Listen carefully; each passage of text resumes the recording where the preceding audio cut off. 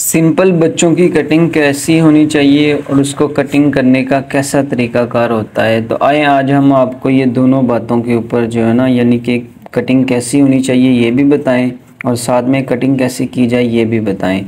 तो दोस्तों, सबसे पहले आपने शावर करके, क्लिप वगैरह लगा के और आपने जो ना, स्टेप नंबर वन को फोकस करना स्टार्ट कर लेना है। यानी कि आपने आठ नंबर ट्रिमर लगा के इसकी साइड बनाना स्टार्ट कर लेना है। मांग को अच्छी तरह सेट करके आठ नंबर क्लिप लगा के इसकी फ़र्स्ट साइड को नीट करना स्टार्ट कर लेना है दोस्तों। तो ये स्टेप नंबर वन में जो ना सिंपल बच्चों की जो कटिंग होती है, उसमें सबसे पहले बालों की मांग को अच्छी तरह सेट किया जाता है। फिर जो ना ट्रिमर लगा के मोटे वाला, यानी कि आठ नंबर क्लिप का जो ट्रिमर होता है, वो लगा के अच्छी तरह। फ़र्स्ट साइड पे आपने अच्छी तरह लगा लेना है बैक साइड पे अच्छी तरह आपने आठ नंबर ट्रिमर जो है ना लगा लेना है। क्योंकि हम जो ना बच्चों की नॉर्मल कटिंग कर रहे हैं, जो इनके स्कूल में भी चल जाए और इनका हेयर स्टाइल भी अच्छा रहे और ये इनके बाल जो ना नॉर्मल से छोटे भी हो जाएँ। तो इन सारी बातों को मद्देनज़र रखते हुए हमने जो ना इनकी सिंपल कटिंग करनी होती है। तो सिंपल कटिंग करने के लिए सबसे पहले जो है ना आठ नंबर का क्लिप लगाया जाता है और आठ नंबर क्लिप अच्छी तरह लगा के first side, back side, second side फिर आपने जो है ना शावर करके, मांग को अच्छी तरह सेट करके, यानी कि शावर को आपने बालों के ऊपर लगा के, कंगा चला के, फिर आपने जो ना कान की बैक साइड से जो ना इसकी स्लोप को मिक्स करना स्टार्ट करना है। फिर कान के ऊपर वाले पोर्शन पे आना है। आपने अच्छी तरह जब कान की बैक साइड्स की इसकी मोटी स्लोप को सेट कर लेना है, फिर आपने जो ना कान के ऊपर से, फिर कान के फ्रंट वाली साइड पे आपने अच्छी तरह बालों को साथ मिक्स कर लेना है। जब आप मोटी स्लोप को साथ अच्छी तरह मिक्स कर लेंगे दोस्तों, फिर आठ नंबर क्लिप से ऊपर ये जो लाइन रहेगी, इस लाइन को नीड करना है आपने, यानी कि कंघे को स्किन के साथ दबाव करके और स्लोप वाले एंगल में चला के आपने जो ना स्लोप बनाते जाना है दोस्तों। तो welcome back to Mudassar hair salon two दोस्तों, मैं आपका अपना मुबशर और आज की इस वीडियो में हम आपको जो ना सिंपल कटिंग बच्चों की कैसी होनी चाहिए, उसके मतलब स्टेप बाय स्टेप तरीकाकार समझा रहे हैं। तो हमने यहाँ तक आपको दो स्टेप जो ना वो करके दिखा दिए हैं। सबसे पहले आठ नंबर क्लिप, फिर कैंची कंगे के साथ इसकी मोटी स्लोप को मिक्स करना आपको सिखा दिया और बता दिया। उम्मीद करता हूँ दोस्तों, आपको आठ नंबर क्लिप अच्छी तरह लगाने का तरीकाकार हमारी पहली वीडियो में भी समझ आ गया होगा और आज की इस मौजूदा वीडियो में भी समझ आ गया होगा। जब आपने आठ नंबर क्लिप लगा लिया दोस्तों तो फिर बारी आ गई इसकी मोटी स्लोप को साथ मिक्स करने की। मोटी स्लोप को मिक्स करने के लिए पहले कैंची कंगे का इस्तेमाल किया जाता है। फिर बाद में जहाँ पे उसकी कमी पेशी रह गई, वहाँ पे हमने आठ नंबर क्लिप अच्छी तरह दोबारा लगाना है। आठ नंबर क्लिप आप जब दोबारा लगाएँगे मोटी स्लोप बनाने के बाद तो ये जो हल्की फुल्की लाइन रह गई थी, कहीं से बाल टेढ़े, कहीं से मेढ़े तो वो सेट हो जाएँगे, वो एक स्लोप की शेप में आ जाएँगे। जब आपने आठ नंबर क्लिप लगा लिया तो फिर आपने ये जो नीचे वाला पोर्शन है, इसको फेड करने के लिए आपने दो नंबर का क्लिप लगाना है।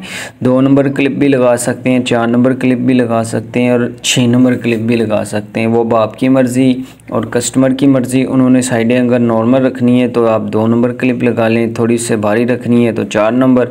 अगर उससे भारी रखनी है तो छः नंबर क्लिप। जब आप दो नंबर क्लिप लगा के इसकी स्लोप को साथ अच्छी तरह मिक्स कर लेंगे दोस्तों तो फिर आपने जो ना इसकी तीन नंबर क्लिप के साथ, यानी कि दो नंबर से ऊपर जो फिटिंग होती है, उस फिटिंग को सेट करके आपने ये जो लाइन रहेगी जैसे हमने पहले आठ नंबर क्लिप के साथ लाइन को नीट किया था, अब वैसे ही तीन नंबर क्लिप के साथ लाइन को नीट कर रहे हैं। जब हम अच्छी तरह मशीन के क्लिप्स के साथ, इसकी फेड को साथ मिक्स कर लेंगे दोस्तों तो फिर बारी आ जाएगी हमारी ब्रीक कंगे और कैंची की। यानी कि अब ब्रीक कंगे के साथ हम इसकी लाइन का ये जो कमी पेशी रहेगी, इसको सेट करेंगे। जब हम बरीक कंगा और कैंची के साथ इसकी लाइन को अच्छी तरह साथ मिक्स कर लेंगे दोस्तों तो इसी के साथ हमारी फ़र्स्ट साइड की जो ना 50 परसेंट काम जो है ना वो कंप्लीट हो चुका। और उसके बाद हमने जो ना इस तरह धो के इसमें नया ब्लेड डाल के तो अब राउंड बनाना स्टार्ट कर लेना है। यानी कि अब कलमों की गुलाई करनी है। उसके लिए सबसे पहले कैंची का इस्तेमाल करेंगे। कैंची के साथ इसकी गुलाई बना लेंगे। जब हम अच्छी तरह कान के ऊपर वाले पोर्शन पे, कान की बैक साइड वाले पोर्शन पे कैंची के साथ गुलाई बना लेंगे, फिर हमने जो ना कलम की जो चौड़ाई है, इसको नॉर्मल सा कम कर लेना है। कुछ बच्चे होते हैं जो वो पेल्सन कलम टाइप रखते हैं, कुछ जो नॉर्मल चौड़ाई रखते हैं, कुछ जो ना वो इसको इस एरिए पे ब्लेड नहीं लगवाते। तो आपने कस्टमर के लिहाज से और फेस के लिहाज से जो ना फ़ैसला कर लेना है।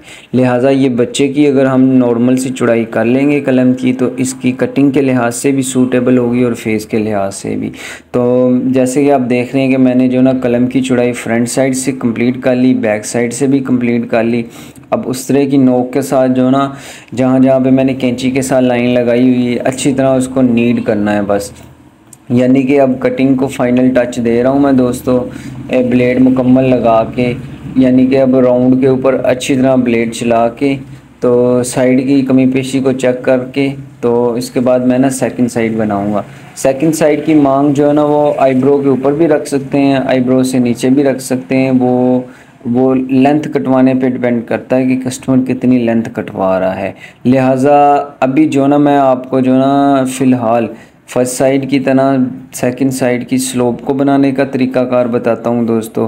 फिर इससे आगे जाके ना ऊपर से लेंथ कितनी होनी चाहिए बालों की, यानी कि दोनों साइडों और बैक साइड की नस्बत ऊपर से बाल कितने होने चाहिए जो सूटेबल हो, उसके ऊपर बात करेंगे। लिहाजा अभी जो ना सेकंड साइड को हम जो ना कंगे के साथ, यानी कि कैंची के साथ बालों को उछाल रहे हैं और कंगे के साथ स्लोप बनाते जा रहे हैं।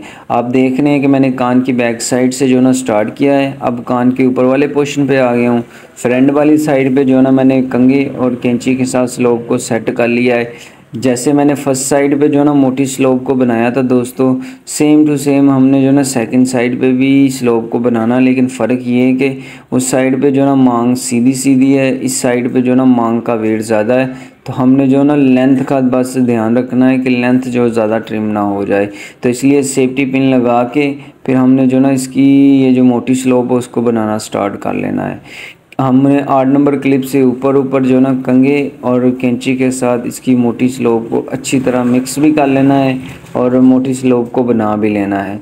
जब हम मोटी स्लोब बना लेंगे दोस्तों, फिर कैंची कंगे के साथ इसकी कमी पेशी को साथ अच्छी तरह मिक्स करके फिर आठ नंबर क्लिप दोबारा लगा के हम ये जो लाइन रह गई है इसमें हल्की फुल्की जो लाइन, उस लाइन को क्लियर करना है। जब हम आठ नंबर ट्रिमर लगाएँगे अच्छे तरीके के साथ, इसकी ये जो लाइन है, इसको मिक्स कर लेंगे, इसके फेड को साथ मिक्स कर लेंगे तो इसी के साथ हमारी जो सेकंड साइड है, उसका भी हमने जो ना पचास परसेंट काम कंप्लीट कर लिया है। फ़र्स्ट साइड नीट करके हमने आपको दिखा दी थी। अब सेकंड साइड का पचास परसेंट काम जो है ना, वो हमने कंप्लीट कर लिया है। तो आठ नंबर क्लिप अच्छी तरह लगा के फिर हमने जो ना दो नंबर क्लिप लगाना है। दो नंबर क्लिप जो है ना, आपने आठ नंबर क्लिप से नीचे नीचे रखना है। और इसको कान के बिल्कुल साथ साथ रखना है। यानी कि इसको जैसे हम लो फेड करते हैं सेम टू सेम हमने जो ना इसी को भी लो फेड की तरह जो लगाना है, इसको ज़्यादा हाई नहीं करना। अगर हम ज़्यादा उठा देंगे तो ये कटिंग बहुत बुरी लगेगी। तो ये नॉर्मल सी जो स्लोप वाली कटिंग है, उस शेप में नहीं रहेगी, क्योंकि हमने जो ना बच्चे की सिंपल भी करनी है कटिंग और इसको सूटेबल भी और इसको स्कूल वगैरह में भी लगनी जैसे मैंने वीडियो के आगाज़ में ही ज़िक्र किया था कि हम जो ना आपको बच्चों की सिंपल कटिंग और इनके फेस के मुताबिक कैसे की कटिंग की जाए, उसके मतलब बात करेंगे। तो जब हम दो नंबर और तीन नंबर क्लिप अच्छी तरह लगा लेंगे दोस्तों तो फिर बारी आ जाएगी इसकी, ये जो साइड की लेंथ है उसको सेट करने की। यानी कि ये बड़े बालों की जो लेंथ है, उसको हमने साथ अच्छी तरह मिक्स कर लेना है। कैंची के साथ हमने इसकी लाइन को साथ नीड करके अब जहाँ जहाँ पे कटिंग की कमी पेशी रहेगी, उसको कंगे और कैंची के साथ साथ मिक्स कर लेना है। जब हम सेकंड साइड की कैंची और कंगे के साथ कमी पेशी को साथ अच्छी तरह मोटे कंगे के साथ मिक्स कर लेंगे, फिर बारी आ जाएगी ब्रीक कंगे की। ब्रीक कंगे का काम ये है कि दो नंबर क्लिप से ऊपर हल्की सी ये जो लाइन रहेगी, इसको साथ मिक्स करने के लिए हम दो नंबर क्लिप कैंची और कंगे का इस्तेमाल करेंगे। फिर हम साइड से राउंड निकालेंगे कैंची के साथ। फिर ब्लेड के साथ अच्छी तरह जो है ना, कलम की चौड़ाई को सेट कर लेंगे। कान के ऊपर वाले पोर्शन पे लगाएँगे, कलम की बैक साइड पे ब्लेड चलाएँगे।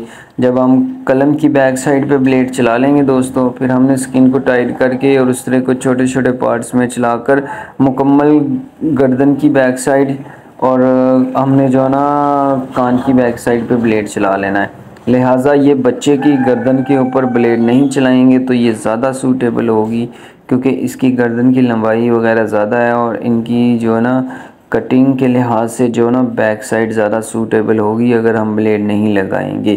तो ये मैंने वही से पहले ही पूछ लिया था और भाई ने कहा था कि मेरी जो ना बैक साइड को आप नीट कर दें, यानी कि आठ नंबर क्लिप लगा के इससे ऊपर स्लोप बनाएँ स्लोप बना के फिर आप जो ना दो नंबर क्लिप नीचे लगाएँ, तीन नंबर क्लिप लगाएँ मोटे कंगे के साथ स्लोप को सेट करें, ब्रिक कंगे के साथ स्लोप को सेट करें। यानी कि उन्होंने कहा बैक साइड की अच्छी तरह जो है ना स्लोप को सेट कर दें। गर्दन के ऊपर जो है ना ब्लेड ना लगाइएगा भाई, क्योंकि आप खुद कह रहे हैं कि अगर आप लंबाई में गर्दन रखेंगे, यानी कि बैक साइड से ब्लेड नहीं लगवाएँगे तो ज़्यादा सूटेबल होगी। लिहाजा आपका काम है, आप बेहतर जानते हैं। तो हमने अपने एक्सपीरियंस के मुताबिक जो ना इसकी बैक साइड को भी अच्छी तरह सेट कर लिया है दोस्तों। जैसे हमने फ़र्स्ट साइड को नीड किया था। सेकंड साइड को नीड किया था। अब सेम टू सेम हमने जो है ना बैक साइड को भी नीड कर लेना है। पहले कैंची कंगे के साथ स्लोप को सेट करना है, फिर आठ नंबर दोबारा लगानी है, फिर दो नंबर क्लिप अच्छी तरह दोबारा लगा लेना है। तीन नंबर क्लिप के साथ जहाँ जहाँ भी कमी पेशी, वहाँ वहाँ पे हमने अच्छे तरीके से इसकी कमी पेशी को भी क्लियर कर लेना है। तो दोस्तों, ये बड़ा मुख्तसर सा स्टाइल होता है, बड़ा मुख्तसर सा तरीका होता है। अगर आपने जो ना बच्चों की नॉर्मल कटिंग करनी है तो उसके लिए सबसे पहले आठ नंबर क्लिप उसकी शेड को साथ मिक्स करें, फिर दो नंबर क्लिप नीचे लगाएँ। दो नंबर क्लिप की लाइन को क्लियर करें और आपकी साइड जो है ना वो नीट हो जाएगी। तो उम्मीद करता हूँ दोस्तों, इससे पहले भी अगर आप बच्चों की नॉर्मल कटिंग करते तो यही वाला स्टाइल इख्तियार करते होंगे। अगर किसी और स्टाइल में आप कटिंग वगैरह करते थे तो कमेंट सेक्शन में लाजमी बताइएगा दोस्तों, क्योंकि हम अपना एक्सपीरियंस आप लोगों के साथ शेयर कर रहे हैं और आप लोग जो है ना कमेंट सेक्शन के ज़रिए जो है ना हमें अपना एक्सपीरियंस शेयर करेंगे दोस्तों। तो आपसे दोबारा रिक्वेस्ट है, अगर आप न्यू हैं तो सब्सक्राइब हमारा official channel Mudassar hair salon two दोस्तों। अगर पुराने हैं तो एक प्यारा सा कमेंट करके लाइक करके अपने भाई को हमेशा की तरह सपोर्ट कीजिएगा दोस्तों। तो जब हमने बैक साइड को भी नीट कर लेना है तो फ्रंट वाले बालों को, यानी कि ऊपर वाली लेंथ पे शावर करके तो हमने कटिंग के लिहाज से जो ना इस टाइम हमने इसके पोर्शन करके, यानी कि ये जो फ़र्स्ट पोर्शन जो है ना मैं ट्रिम कर रहा हूँ और बालों की जो ट्रिमिंग का साइज़ है, वो गालबन दो इंच के करीब है। क्योंकि ये बच्चे की लेंथ जो है ना, पाँच से छः इंच है तो इसलिए हमने इसको जो ना, दो इंच बालों को जो ना ट्रिम कर देना है। पीछे बच जाएँगे चार इंच के करीब करीब बाल तो वो कटिंग के दोनों साइडों के लिहाज से भी सूटेबल होंगे और बच्चे की फेस के लिहाज से भी जो ना सूटेबल होंगे। मैं ये कहना चाह रहा हूँ, अगर बच्चे की लेंथ चार इंच है तो आपने जो ना, एक से डेढ़ इंच जो है ना, वो बालों को ट्रिम कर देना है। बचे हुए तीन या साढ़े तीन इंच जो बाल हैं, वो कटिंग के लिहाज से जो ज़्यादा सूटेबल होंगे। तो आप लोगों को समझाने के लिए ये मुख्तसर से लफ्ज़ के साथ, मुख्तसर से तरीके के साथ मैंने आपको ऊपर वाली लेंथ को ट्रिम करने का तरीक़ाकार समझा दिया। दोस्तों अब बैक्स यानी फ़र्स्ट साइड सेकेंड साइड और फ्रंट वाली साइड से लेंथ को सेट करके ये फ़र्स्ट साइड नीड हो चुकी बैक साइड नीड हो चुकी सेकंड साइड नीड हो चुकी। और इनकी फाइनल लुक आपके सामने है दोस्तों। तो उम्मीद करता हूँ ये मुख्तसर सा तरीका आपको समझ आया होगा दोस्तों। तो अगर समझ आया है तो जैसे मैंने पहले आप लोगों के साथ ज़िक्र किया, एक प्यारा सा कमेंट करके हमारी हौसला अफजाई कीजिएगा और हमें नेक्स्ट किस टॉपिक पे वीडियो बनाई ये भी बता दीजिएगा और अपना बहुत ज़्यादा ख्याल रखिएगा और हमारे साथ जुड़े रहिएगा। बहुत जल्द मिलेंगे आपको एक नई वीडियो एक नई स्टोरी के साथ। तब तक के लिए अल्लाह हाफिज़ दोस्तों।